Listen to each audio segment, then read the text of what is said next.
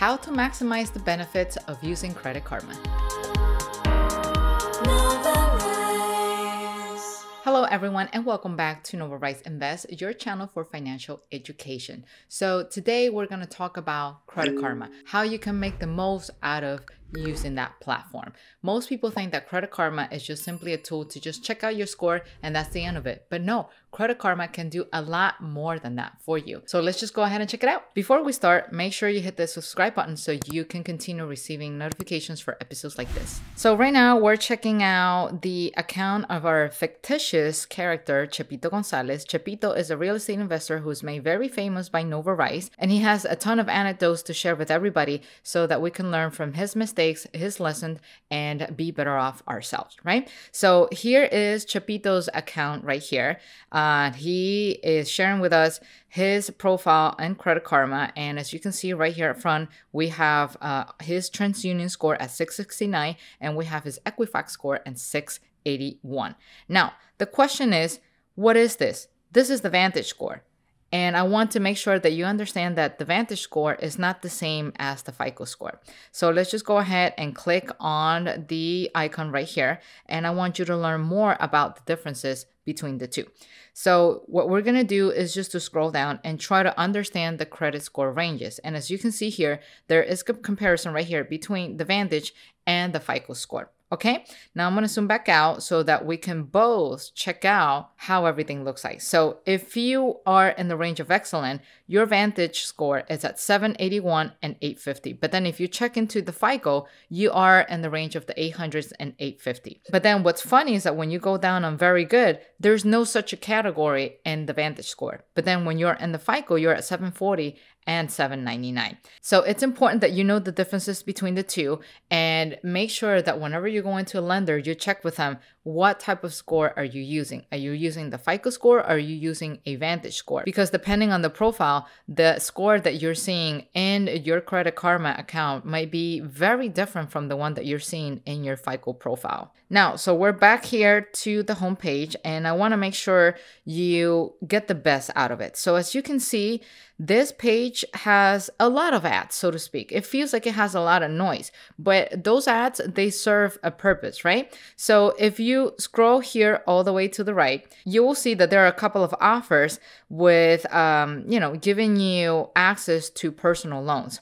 And as you can see here, you will get kind of like the uh, Credit Karma approved check mark, so to speak, that tells you the probabilities of you getting this loan approved. So uh, in the case of Chepito, he is being offered uh, by Marcus, by Goldman Sachs, a loan amount of $26,000 with an estimated APR of 5.99.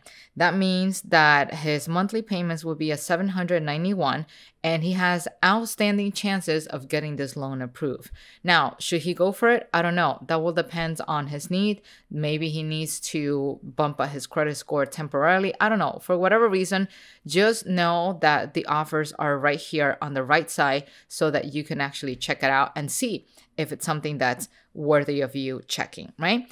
And so if you want to find out more about each of the score, you can simply just come here and then just click on the TransUnion box or uh, the other uh, credit bureau box, and you will see the fluctuations on your credit, in this case in Chepito. So in TransUnion, he has a 669 and it's been quite of a roller coaster for him. And let's just check out over here Equifax. He has a 681 and yeah, still feels like a roller coaster, but overall is doing better than TransUnion, right? So as you scrolling down through his profile, you will see the details about his account. So Credit Karma is telling you here what score or what chunk of uh, the category has a high impact in your credit and what has a medium impact. So in his case, Chepito has uh, an excellent payment history. So it's showing that it's what's impacting his score the most. And he pays on time 100% of the time. So that's excellent. Then, in terms of credit card use, it also has a high impact and it's showing that he's using 24%.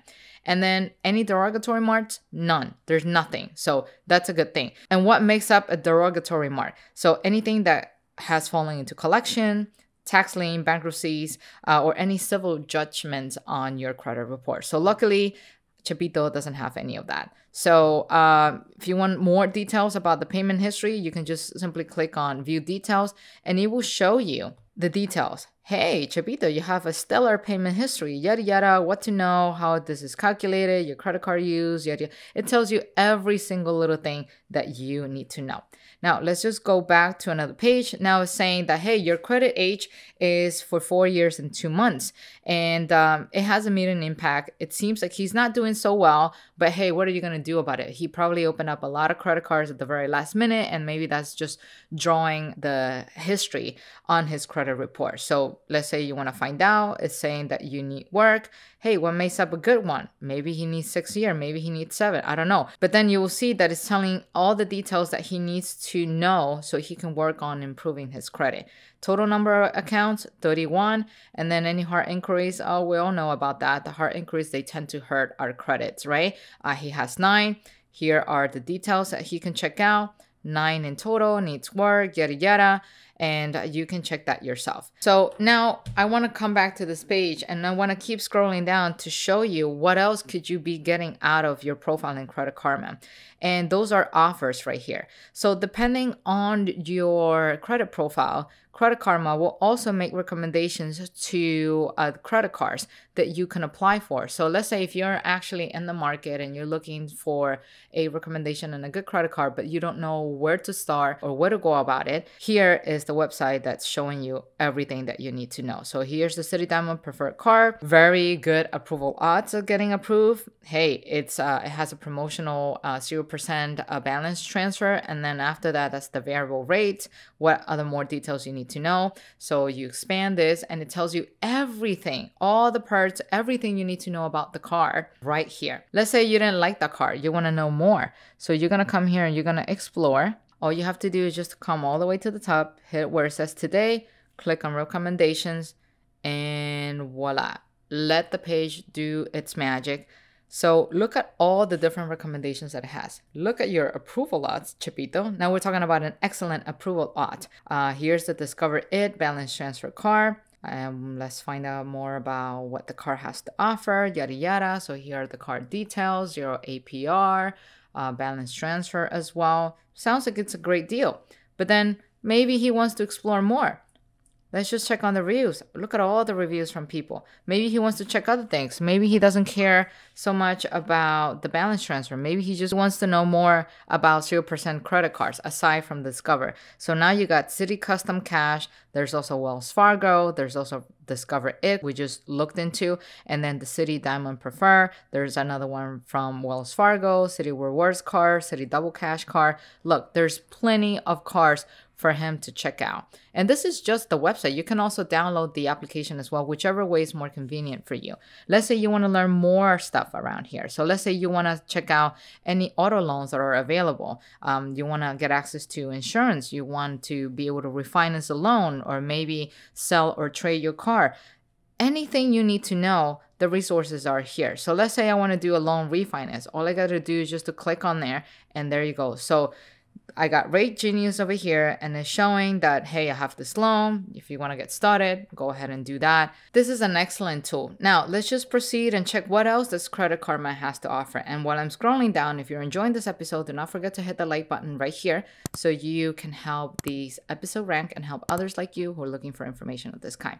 So now we're scrolling down and there are other things that I want to explore here in Credit Karma. So they talk about credit cards, there's also options for personal loan, building your credit, how to get access to credit cards that can help you build your credit, how you can lower your car payment, insurance payment. Hey, I want to know average borrowing power amongst members 34,488, but you can borrow a higher amount. Let's check out the details over here. As you can see, Credit Karma, it's a lot more than just a website where you can check out your score. It has a lot more tools that you can see, and it is up to you to take advantage of it. While I still have you here, do not forget to check this episode right here that's to help you complement everything you just learned today. And until then, I'll see you in the next video. Bye bye.